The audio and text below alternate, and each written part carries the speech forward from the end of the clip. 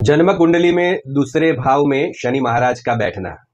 शनि महाराज जहाँ बैठते हैं, उस स्थान की वृद्धि कर देते हैं। यहाँ पे धन स्थान में धन की वृद्धि होती है।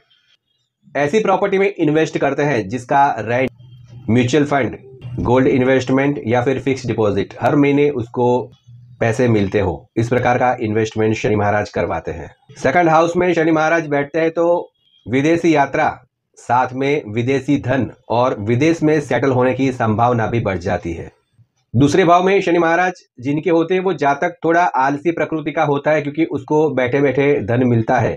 उसके अंदर एक प्रकार से आलस्य का प्रभाव देखने को मिल सकता है। दूसरे भाव में जो स्वामी है, वो अगर शनि महाराज का शत्रु है, जैसे कि सूर्य है या चंद्र है तो उसको विपरीत फल भी यहाँ पे मिल सकते हैं। शनि के तीन मित्र बताए गए हैं, जिसमें शुक्र, बुध और शनि, इन तीनों में काफ़ी मित्रता देखी गई है। गुरु को स्वभाव में देखा जाता है। सूर्य और चंद्र इनके प्रबल शत्रु माने गए हैं।